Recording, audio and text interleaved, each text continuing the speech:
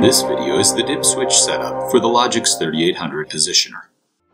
Start by validating that the dip switches are set correctly per your valve configuration. Keep in mind that the dip switch settings tell the positioner to match the valve's mechanical configuration. For example, changing the air action dip switch does not change whether the valve is air to open or air to close.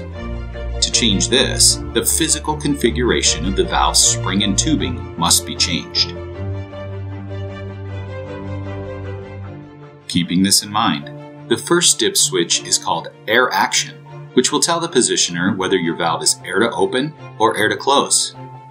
For this example, the valve is set air to open with the white dip switch set to the left.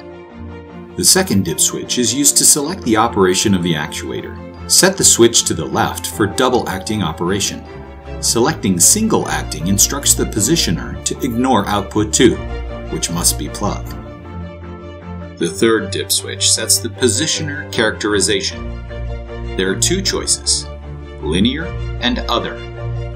Linear is the standard setting for most control valves.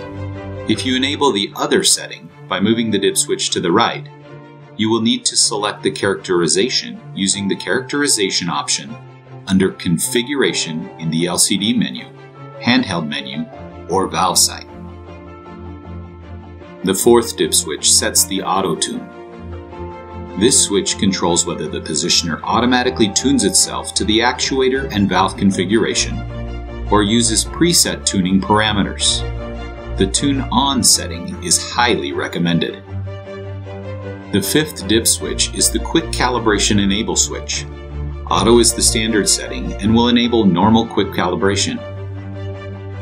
Jog is a manual setting used to set the open position for valves that overstroke.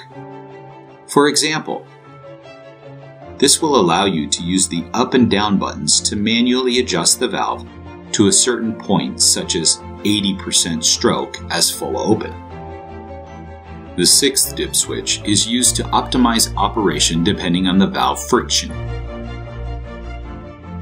Set the dip switch according to whether your packing is high friction, Graph-Oil, or braided packing, or low friction, most Teflon packing. The seventh dip switch is signal at closed. This is used to tell the positioner what signal level drives the valves closed. In the case of an air to open valve, this switch is typically moved to the left to set the close signal to 4 milliamps. In the case of an air to close valve, this switch is typically set to the right to set the close signal to 20 milliamps.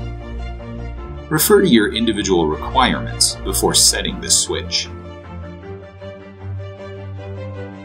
The eighth switch configures the HART communication to meet either the HART 6 or HART 7 standard. After the dip switches have been set, a quick cal must be performed. Refer to the video titled Logix 3800 Positioner Calibration for details on how to do this.